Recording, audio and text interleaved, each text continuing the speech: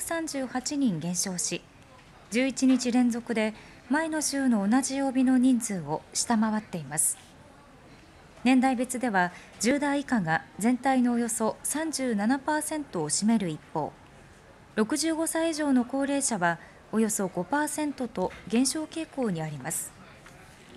都の担当者は3回目ワクチン接種の効果が現れている可能性があると話しています。オミクロン株に対応した重症者用病床の使用率は前日から0.5ポイント増加し23.9%となりました。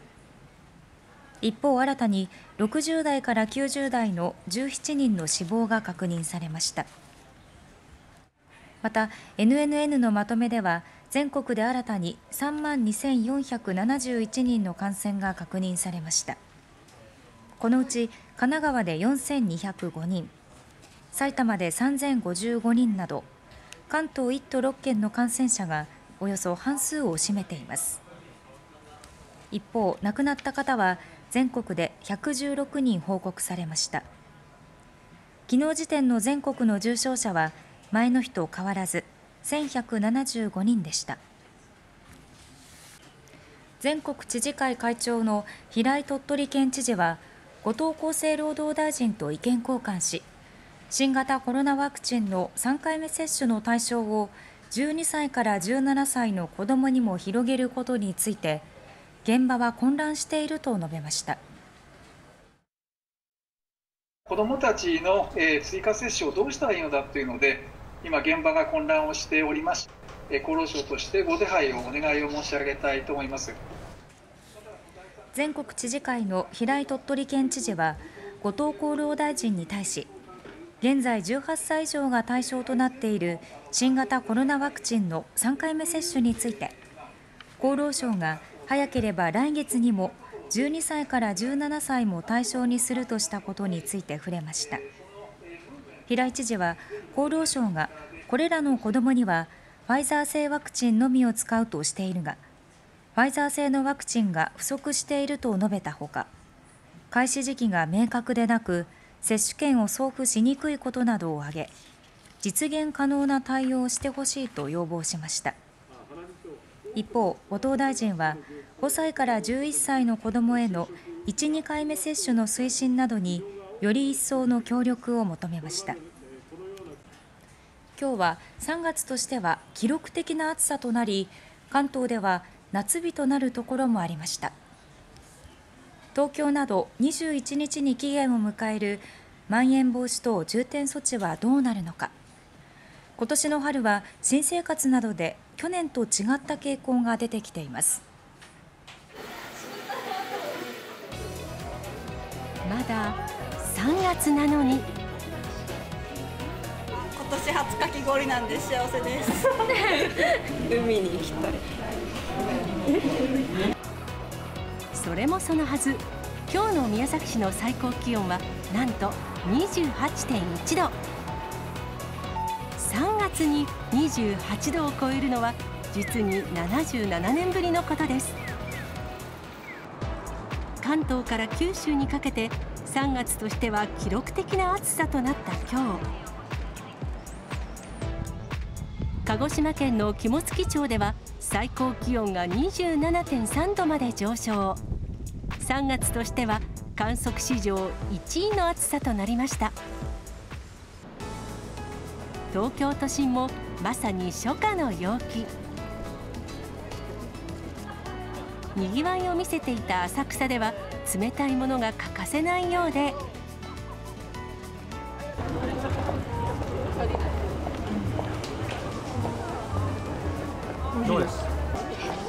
溶けちゃった。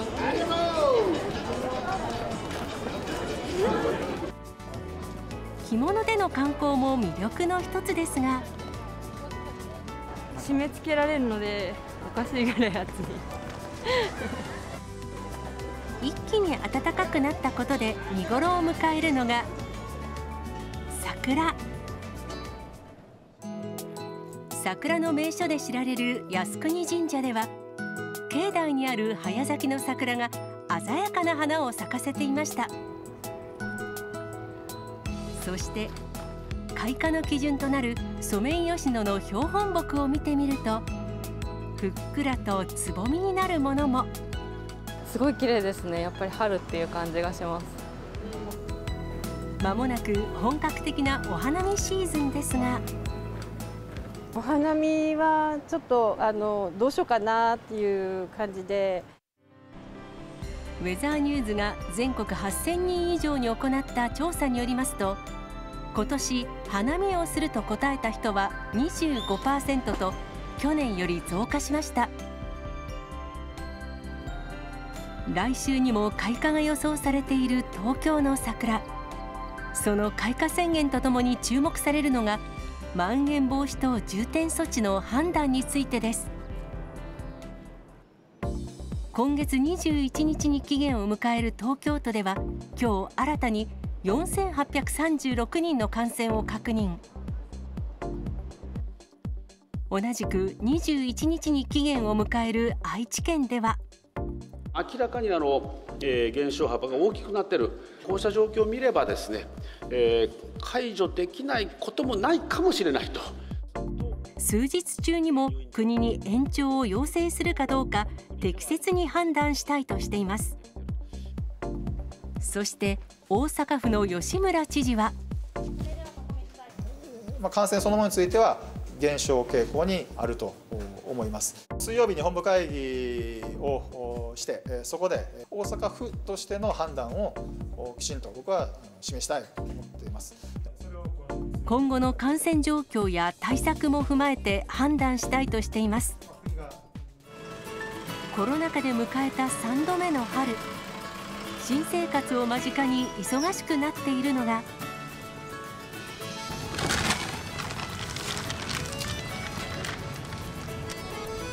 引っ越しです。今日都内で引っ越しをしていた男性は。リモートワークが増えてきましたので、えー、自宅時間が増えてきて、まあ、快適に過ごせるように広い部屋に住み替えました。在宅で働きやすいように 1K から 1LDK の住まいに。さらに今年はこんな傾向も。都心から近場の郊外に移動されるお客様増えています。テレワーク在宅勤務の浸透それが原因じゃないかなとは思っております。春を迎え変化が起きているのは他にも。都内にあるレンタカー店には朝早くから車を借りに来る人たちの姿が。これから友人と金沢へ旅行に行くという大学生。免許取ったんでそれもあの運転しながらあの楽しく行こうみたいな。今日3人で行くんですけどそれ以上に人と接しないっていうのは大きいかなって思います。密を避けられるなどの理由で需要があるというレンタカー。3月からはある需要も増加しているそうで。3月っていうのは人が動く季節だと思うので引っ越し等で貨物の車を借りる方。あとは学生さんですかね。春休みで大きい車で1泊とかそういう感じで出かける傾向にあるかなと思います。昔の状態に戻ったような感じはします。去年の春は自粛などの影響で大型車の予約数が減っていたものの今年の春は大型車で旅行に行く人が増えているということです。自民党の麻生副総裁と茂木幹事長が今夜安倍元総理大臣と会談し夏の参議院選挙の勝利に向け結束していくことを確認しました。3人による会談は都内のフランス料理店で2時間余り行われました。関係者によりますと会談は麻生副総裁が持ちかけたもので一時調整が難航していた公明党との参院選での協力状況について茂木幹事長が説明したということです。3人であのなんていうかお話をしまして参院選に向けてのお話などされたんでしょうか？それもしました会談では参院選に向け国民民主党との関係を深め野党陣営をどう切り崩していくかなども話し合われたということです3人はそれぞれがトップを務める主流3派閥が中心となり今後も岸田政権を支えていく方針を確認したということです。ここ最近の気になる地震活動について掘り下げる週刊地震ニュース。社会部災害担当キャップ中浜博道記者とお伝えします。よろしくお願いします。よろしくお願いします。今月の7日から13日までの1週間に起きた地震活動なんですが、はい、震度1以上の回数は45回だったんですね、うんはい、はい、そのうちですね震度3以上の地震が今回はで5回もあったんです。うち4回は石川県能登半島が震源です。ちょっと細かく見ていきたいと思います、はい。今月のですね8日午前1時58分頃なんですが、えー、マグニチュード4.8の地震がありまして珠洲市で震度4そしてお隣の新潟県糸魚川市や上越市などでも震度3を観測しています、はい、この能登半島なんですがこの同じ地域を震源とした地震がですね震度3なんですが8日と10日にですね合わせて3回発生しているんですね。そしてもう一つの地震です、はい、えこちらはですね兵庫県南東部を震源とする地震なんですが11日の午後6時頃なんですね、えマグニチュードは4.1でしたえ京都のです福知山市や、え兵庫県の三田市などで震度3を観測しています。はいあの能登地方では1週間で震度3以上が4回もあったんですね。これは多いですよね。そうですよね。今回多いですよね。はい、そしてあの能登地方なんですが、あの震度1や2、そして体に感じない地震も入れますとさらに多くなります。はい、この能登半島のですね地震なんですが、震源がどのようになっているのか細かく見ていきたいと思います。はいこちら石川県能登半島の先端部にあたります。これを拡大したものです。珠洲市ですね先端ですね。はい。こちらの丸になっているものがそれぞれの地震の震源になります、はい、このようにですね同じような場所でですねあのちっちゃな地震がですねいっぱい起きているのが分かります、えー、はい。この辺りですね国道も走ってますし道路もありますし、まあ、当然生活環境、ね、生活している方も多くいらっしゃるそういった場所で起きている地震です。はいあのこのようにですね比較的ですね狭い地域で続発する地震活動のことをですね群発地震と呼ぶことがあります。はいあのマグニチュードはそれほど大きくはないんですが、はい、まあ、震源が浅いことなどが特徴です。あの規模はさほど大きくはならないと考えていいんでしょうか？はい、あのそんなことはなくてですね、実はこちら、はい、紫色震度5弱の地震が起きています、はい、この地震が起きたのがですね、去年9月16日になります。ええ、この時マグニチュード5.1の地震で、この珠洲市で震度5弱の揺れとなりまして、まあ物が落ちるなどそういった被害もありました。はい